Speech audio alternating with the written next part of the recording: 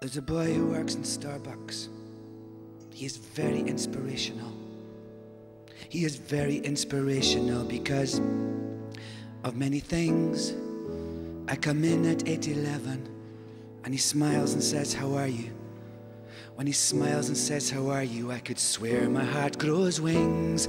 So today at 811, I decided I should meet him. I decided I should meet him in a proper formal way. So today at 811, when he smiled and said, How are you? I said, Fine, and my name's Alan. And he softly answered, Hey. And I told him, My name's Alan, and thank you for the extra foam. And he said his name was Taylor, which provides the inspiration for this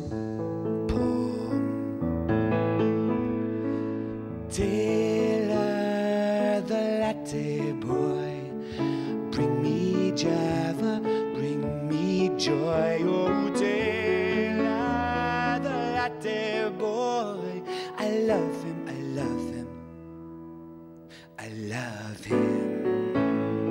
I would like to get my nerve up to recite my poem musical. He would like the fact it's musical because he plays guitar. And today at 8:11, Taylor told me he was playing with a band down in the village in the basement of a bar. And he smoothly flipped the lever to prepare my double latte. But for me, he made it triple, and he didn't think I knew.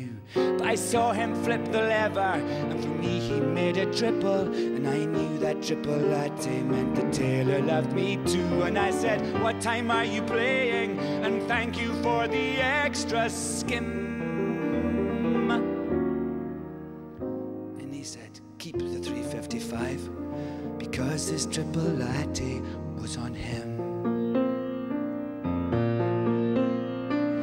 Taylor,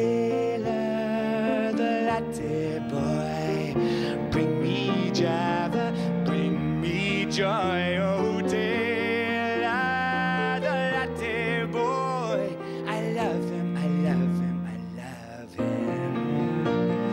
I used to be the kind of boy who'd run when a love rushed over.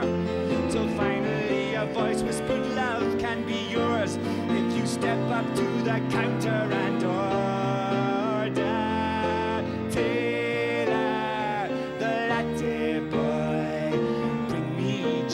Bring me joy. Oh,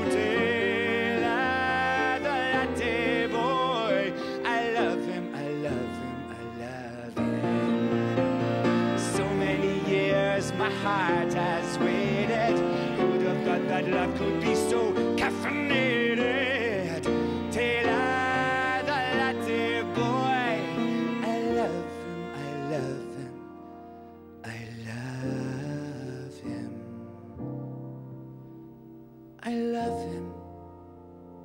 I love him, I love him.